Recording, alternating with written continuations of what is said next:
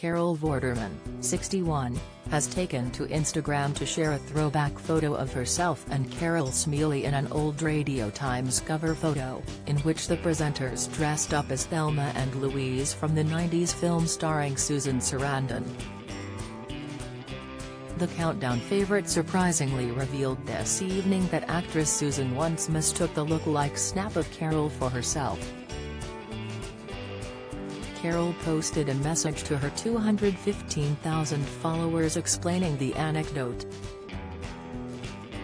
The star was then met with a series of positive responses from fans, complimenting her and friend Carol Smillie, who appeared alongside her on the Radio Times front cover.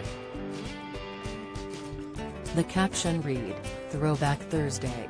At Carol Smillie official and I being Thelma and Louise for at Radio Times many moons ago. Carol, S, was leading changing rooms on BBC One and I was hosting Carol Vorderman's Better Homes for ITV. Both shows were rocking more than 10 million viewers every week. Petty days in TV. So the week the magazine was in the shops, Susan Sarandon was over in London and I remember someone questioning her about being on the front cover on a radio show. Her answer was delightful. The TV presenter then said it meant a lot to her as she considered the Hollywood star to be a top woman.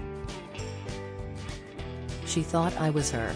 That was a big tick in the box as far as I was concerned. She's a top woman after all, ha. Happy memories. Sending love to my mate Carol Smillie as ever. Hashtag homes hashtag throwback Thursday. Carol's fans were excited for her and took the comments to express their feelings. Russell Davies 63 penned, That's so beautiful.